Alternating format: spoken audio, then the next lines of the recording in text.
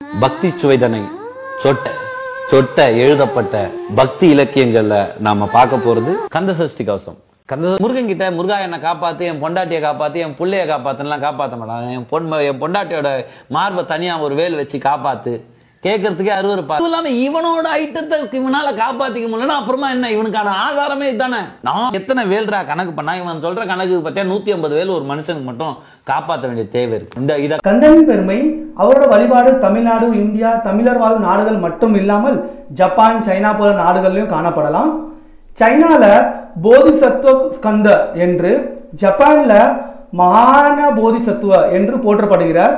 கந்தன் ஆறு நாள் சூரபத்ரனிடம் யுத்தம் செய்தார். ஆறாவது நாள் வென்றார். தேவர்கள் அனைவரும் ஆறு நாட்களுக்கு கந்தன் பெருமை பாடினார்கள். ஆயிரத்தி எண்ணூத்தி இருபது ஆயிரத்தி எண்ணூத்தி முப்பதுல வசதி படைத்த குடும்பத்துல பிறந்தவர் தான் நம்ம தேவராய சுவாமிகள். அவரோட தமிழ் பற்று காரணத்தினால ஸ்ரீ திருசுராபுரம் மா- மீனாட்சி சுந்தரம் பிள்ளை கிட்ட தமிழ் முறைப்படி கற்றுக்கிட்டார். கற்றது மட்டும் இல்லாம ஆறு கவச்சம் எழுதினார். சிவ கவச்சம் சண்முக கவச்சம் சக்தி கவச்சம் நாராயண கவச்சம் கந்த சிருஷ்டி கவசம். அப்படிப்பட்ட தமிழ் மேதை முருக பக்தர் தேவராய சுவாமிகள் எழுதிய கந்த சிருஷ்டி கவசம கேலி கிண்டல் கொச்சப்படுத்தி வீடியோ செஞ்ச கருப்பர் கூட்டம் கண்டிப்பா தண்டனை தகுதியானவர்கள் தான். தனித்தனியா சொல்லாம கந்தா என்ன காப்பாதுன்னா கண்டிப்பா கந்தா நம்மளை காப்பாத்துவாரு நமக்கு வெற்றி தருவாரு. ஸ்ரீமத் பாகவதம் ஆறாவது கேண்டோல பதினஞ்சாவது சாப்டர்ல இருபத்தி அஞ்சாவது வசனம் நீங்கள் படிச்சீங்கன்னா அதில் என்ன சொல்லுதுன்னா ஒரு மனுஷனுக்கு மூணு விஷயம் துன்பங்களின் காரணமாக இருக்கு. அத்தியாத்மிகா அதிதெய்வீக அதிபௌத்திகா. அத்தியாத்மிகனா ஒரு மனுஷனோட அவனோட உடம்புல இருந்து அவனுக்கு வர்ற பிரச்சனைகள். தலைவலி கைவலி கால் வலி கண்ணு வலி மூட்டு வலின்னு சொல்கிறாங்கல்ல அப்படி பல பிரச்சனைகள் அவன் உடம்பே அவனுக்கு கொடுக்கும்.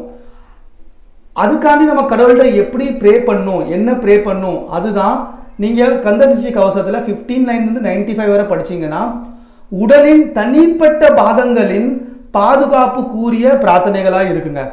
அது மட்டும் இல்லை நூற்றி நாற்பத்தி ஒம்போதுலேருந்து நூற்றி ஐம்பத்தி ஏழு வரிகள் நீங்கள் படிச்சீங்கன்னா நோய்களிலிருந்து விடுபடுவதற்கான பிரார்த்தனைகளாக இருக்குங்க. ஆதி பௌத்திகானா அடுத்தவங்ககிட்ட இருந்து நமக்கு வர்ற கஷ்டங்கள். விவசாயி காட்டில் வேலைக்கு போனால் அவனுக்கு எதுலேருந்து கஷ்டம்னா கஷ்டம்னா அங்குள்ள மிருகங்கள் விஷ கிருமிகள் அதுதான் தான் பிரச்சனை. அதனாலதான் கந்தசஷ்டி கவசத்தில் நூற்றி நாற்பத்தி ஒன்று நூற்றி நாற்பத்தி நீங்கள் படிச்சீங்கன்னா விஷ விலங்குகளிலிருந்து பாதுகாப்பு தொடர்பான பிரார்த்தனைகளாக இருக்குங்க. அதிதெய்விக்கானா நமக்கு கண்ணுக்கு தெரியாத பிரச்சனைகள். அதிகமாக மழை வருது பியாயி பிசாசு இவங்களால நமக்கு வர்ற பிரச்சனைகள்.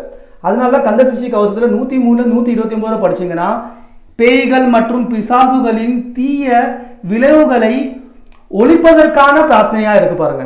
முருகனை எப்படி வணங்கணும்? முருகனை எப்படி முறையிடணும்? நம்ம பிரச்சனைகளுக்கு எப்படி நம்ம முருகன்ட்ட சொல்லணும்? இப்படி பல விஷயம் கந்த சஷ்டி கவசத்துல இருக்கு.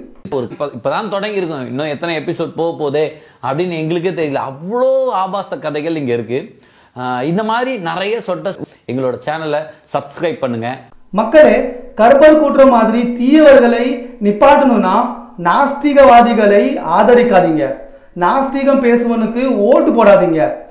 நம்ம இவங்க வீடியோக்கு வீடியோவை ரிப்போர்ட் பண்ணுங்க கம்ப்ளைண்ட் பண்ணுங்க. அது மேலே நம்ம குழந்தைகளுக்கு நம்ம மதத்தை பற்றி உள்ள பெருமையை சொல்லி கொடுங்க. இந்து சமய மக்கள் எல்லாம் ஒன்று சேருவோம். பந்தத்தோடு இணக்கமாக வாழ்ந்து காட்டுவோம். தர்மம் காக்கும் மனிதர் தம்மை கர்மம் காக்குமே. தர்மி போற்றும் தர்மம் இந்து தர்மம் ஆகுமே